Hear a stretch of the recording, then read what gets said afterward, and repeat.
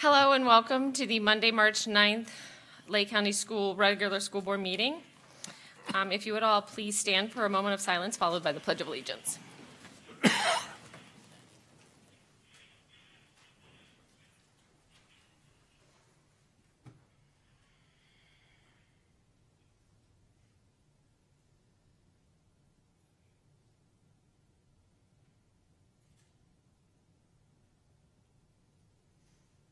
pledge allegiance to the flag of the United States of America and to the republic for which it stands, one nation, under God, indivisible, with liberty and justice for all.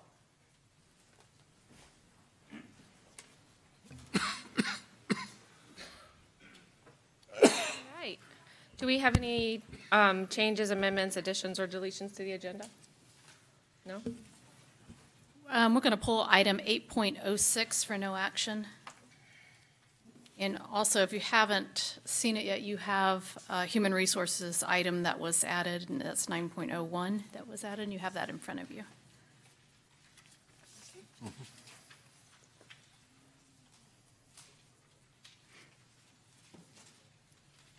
We have no minutes, right? There are no minutes for approval tonight. And so we are ready for representation. Um, Ms. Sherry Owens is going to present some, a presentation about music in our schools.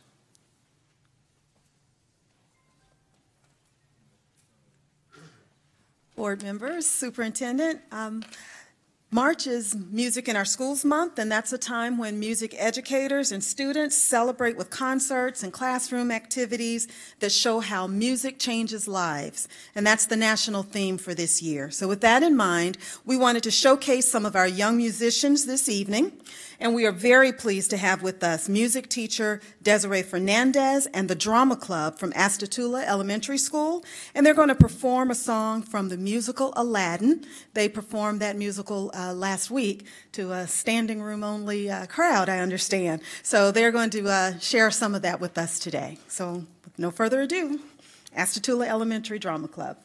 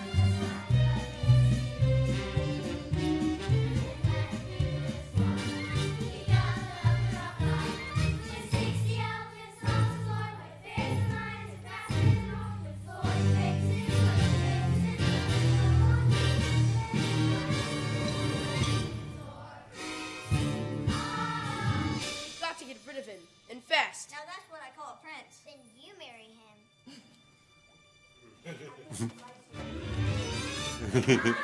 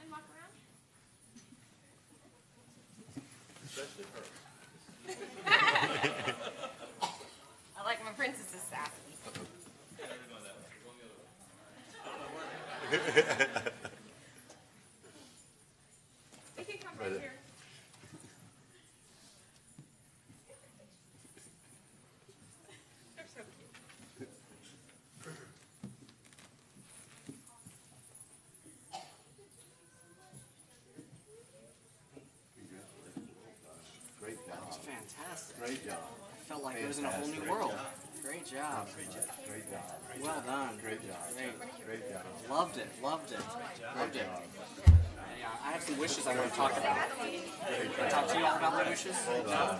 All right. Yeah, Well done. You told him he Well done. That was great. I felt really like I was in a whole new world. Great job. Great. Great job. Great job there.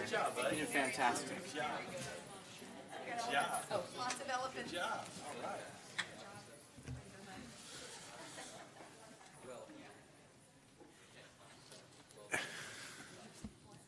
he just left.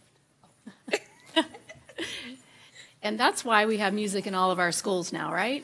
Yeah.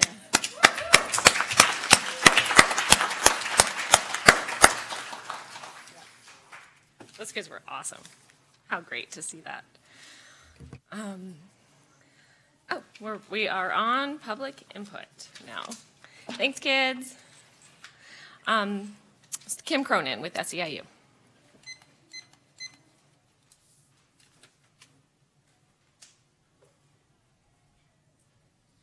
Good evening, board members, superintendent. So I know we had a lot of discussion last Monday over um, summer camp, and I, I know you guys know a little bit more about what's going on than I do. But I just wanted to say that you know we have an excellent after-school program. I think that we should have an excellent summer camp also. I think this year we're a little bit late at the game, um, so next year hopefully we we get a good start on this and we really do something that's great for our kids. Thank you. Thanks, Kim. Thanks for being an advocate for ELC summer camp. Um, our next is Steve Tibbetts, Mr. Tibbetts, Dr. Tibbetts.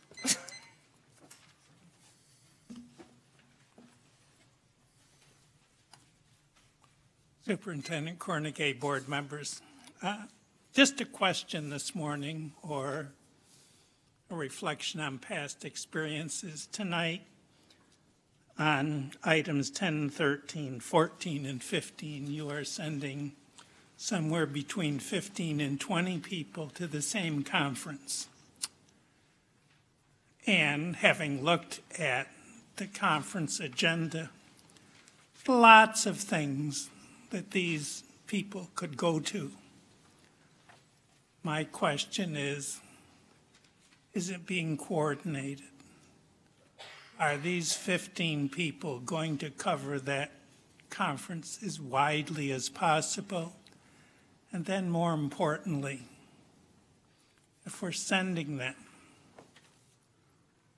will they come back and spread what they find with written reports and oral presentations to the other high schools in the district?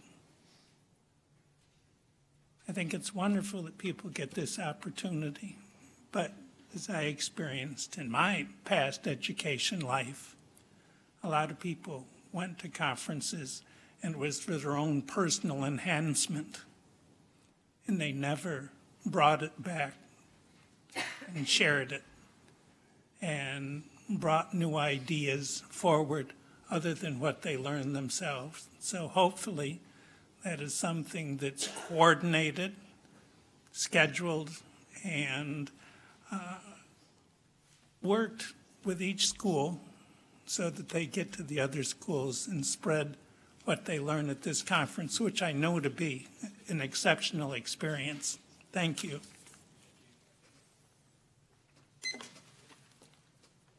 I was was gonna, okay, all right.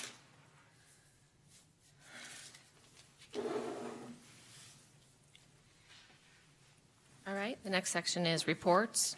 Our first report is the Educational Foundation with Ms. Carmen Cullen-Batt. Chairman, board members, superintendent. We just saw an excellent program on music, and on Saturday, I had the opportunity to judge the Art Olympics that four of our high schools participated in. And um, these students were given a pile of trash and a mannequin and asked to make a runway um, outfit which I would have been pleased to wear any of the four outfits. Um, and I'm sure the rest of the day went uh, just as well as that. So it is incredible to have music and arts in our schools. Apple Mart has had 674 teacher visits, which is 26.4% above last year in the same time period, and we've distributed $50,550 in supplies.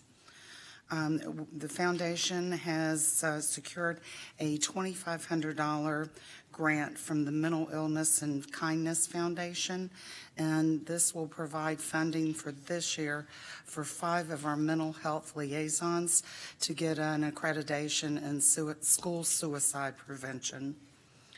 Um, And that is a competitive process. An invitation was sent to all 41 of them to apply. Um, we were named uh, in lieu of flowers for Jerry Miller, who was our dear, dear friend, who had been a board member for 19 years on the foundation board from Duke Energy.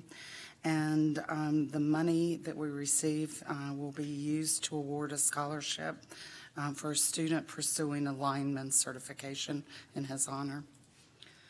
Our scholarship platform closes Friday, the 13th. We have 167 um, students that have applied for one of the seven scholarships that we manage.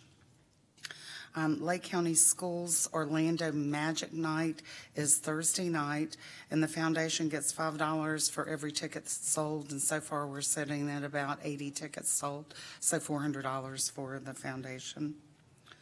The School District Education Foundation matching grant um, is in the Senate budget for 5 million and in the House budget for 4.1 million. And we are looking good to retain the 5 million from last year, which means 75,000 to Lake.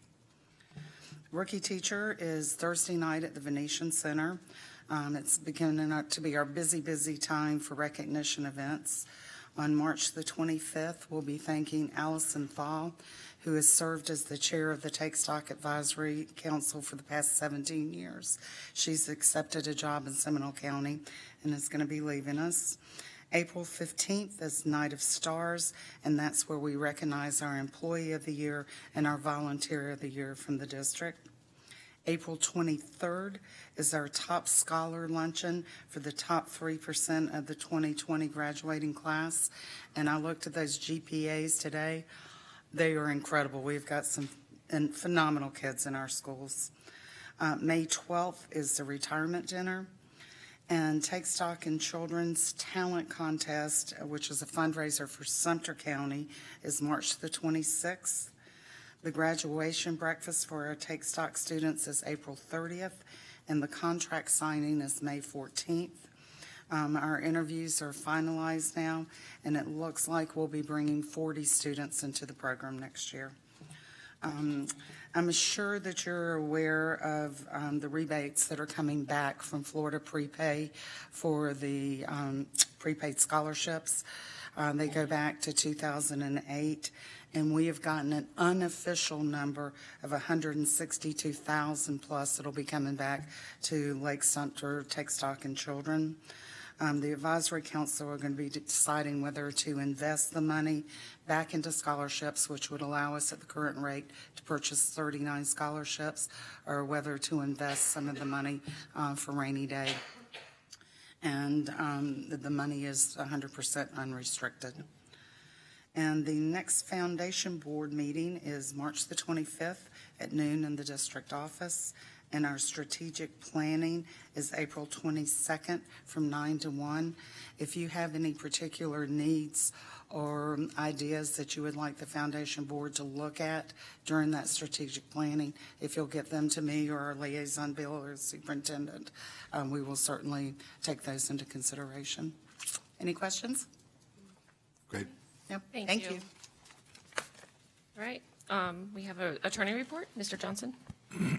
Yes, ma'am. Just one quick thing. I just wanted to clarify um, that the previous meeting, which was scheduled as a special meeting for the purposes of approving future curriculum and materials, uh, the vote to approve that was the, a uh, preliminary initial vote. There will be a second opportunity for the public to provide any opinions or comments regarding this, and there will be a final approval at a later date. That's all I have, Madam Chairman. All right, thank you very much. Moving on to our new business consent agenda, Superintendent. Recommend approval of consent agenda items 8.01 to 8.05 and 8.07 to 10.18. So moved. Second. All in favor? Aye. Any opposed? All right, motion passes. Did we need to, we pulled uh, 8.06 for no, no action, right? That's correct. So um, we are on superintendent's report. All right. Well, last week, we held the first of our public input meetings on the attendance boundary changes at Sawgrass Bay, and had a nice group come through, excited about the opportunities available with our new school and the existing programs at Sawgrass Base. Went really well. I want to thank Ms. Randall and her team. It was so well organized. It was amazing. And everyone had, there were so many people there that Mr. Dodd was there, and just um, anybody who had any questions, had someone that- that personally that they could talk about their particular student and um, look up their own address to find out whether or not, they, what school they were going to go to. It was just extremely well done, so thank you for your leadership on that.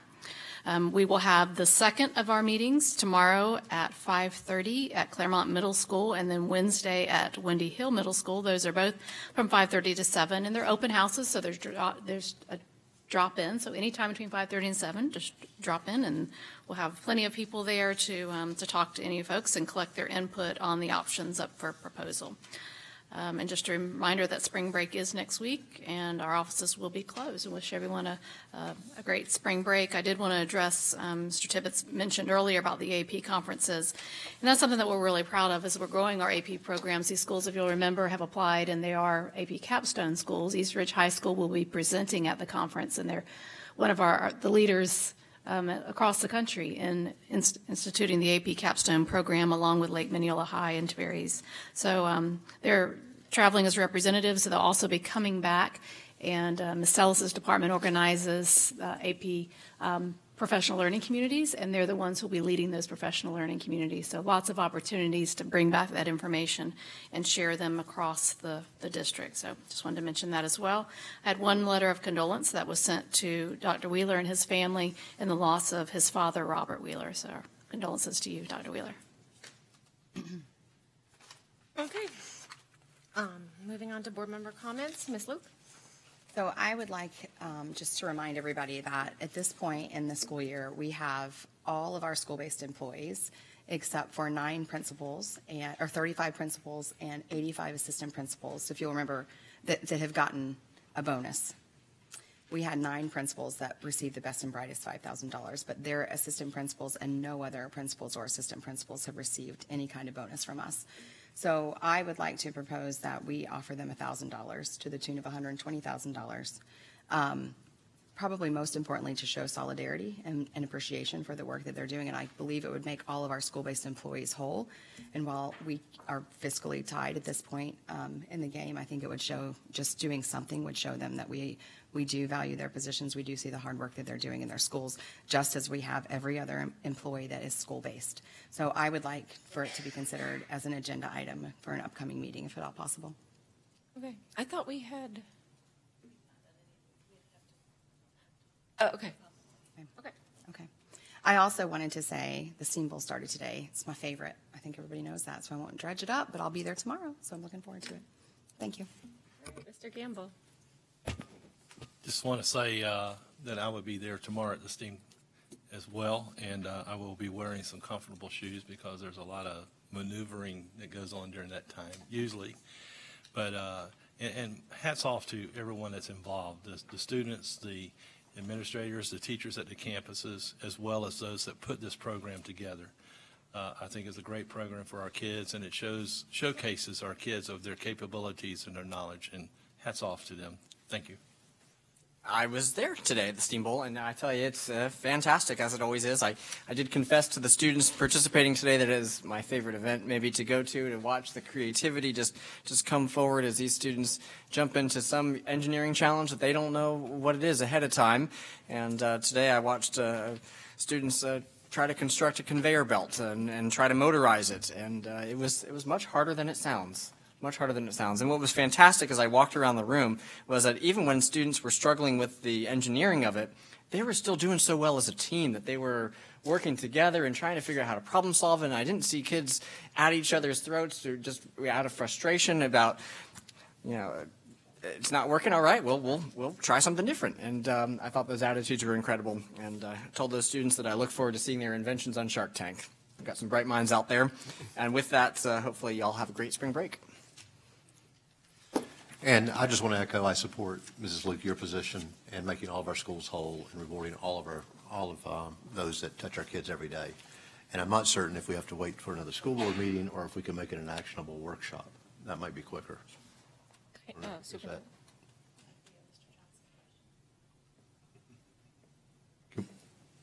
They're asking if um, the motion to create a consent agenda item to provide the bonus for those, in- the administrators, school-based administrators who do not, re- have not received anything from Best and Brightest, um, if that needs to be at a, the next board meeting, or if there can be a special called um, board workshop to take up that action item. The only action that would be necessary this evening to set it on the agenda, I mean, the chairman can take that action on her own, put it on the next agenda. Can it be done in a workshop? We don't have another workshop, I just looked. We have spring break next week. Our next meeting is the regular meeting. Oh, our next meeting's a regular meeting. Oh, never mind. I'll- I'll- Doesn't I'm matter. sure you- I'm sure uh, there's never an argument. That's right. And everyone stay safe. That's it. Right. Okay, so um, I went to our um, emergency EOC, um, emergen- what does that stand for? EO Operations Center. Our our emergency, yeah, our emergency center. Then they gave a briefing on um, on coronavirus or COVID 19. And I've been also, because I'm a scientist, looking it up all week and, and doing that kind of stuff. So um, I'm trying to put together my thoughts in a coherent way. Um, so I came up with I have the good, the bad, and the ugly. So the good news is that the kids seem to get it, get very mild cases, um, but they do still get it, and they do seem to spread it. So kids act as little carriers, vectors. They they give it to grandma and grandpa. Um, it's it's not the flu or the cold. It really is 20 times more contagious than the flu, and it's got significantly higher rates of um, death in older people. So um, that's the bad.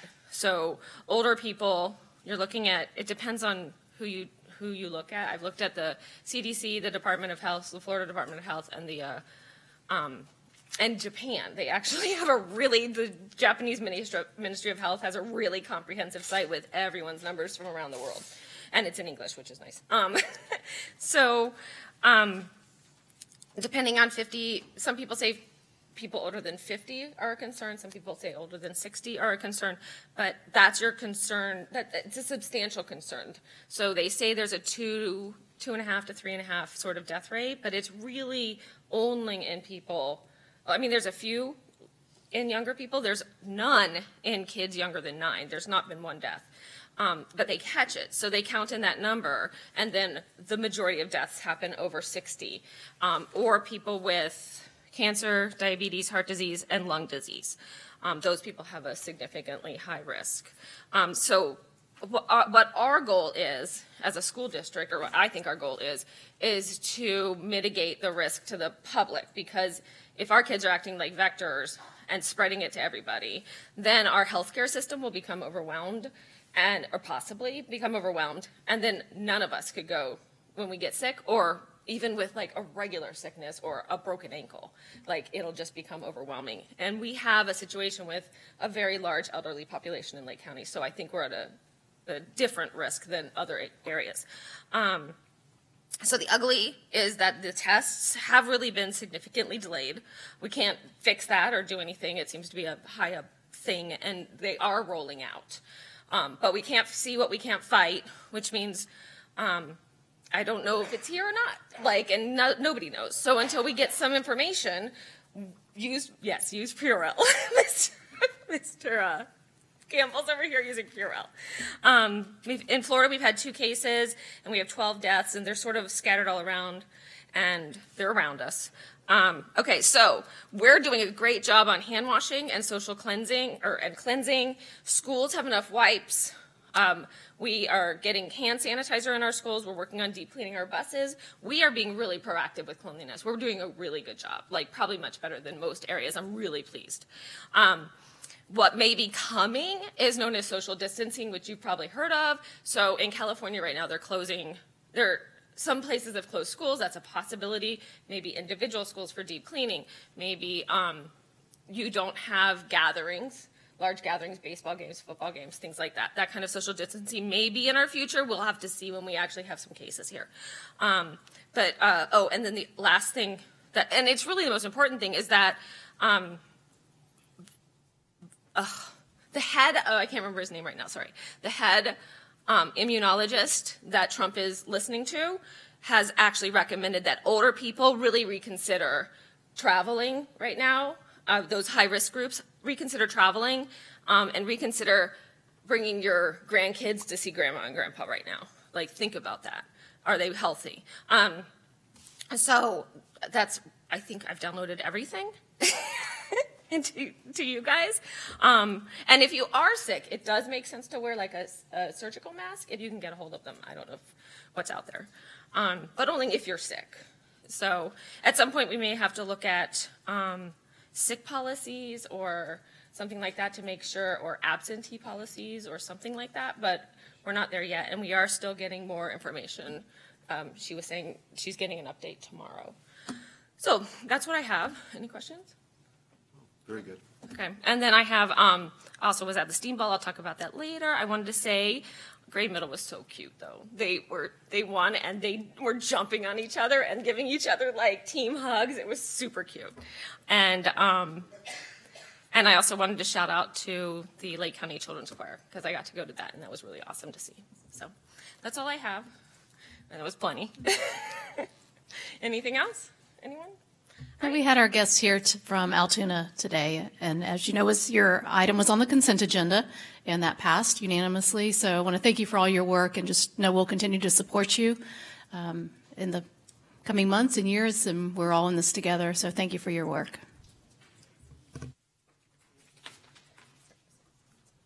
All right. Thank you all for coming. We're adjourned.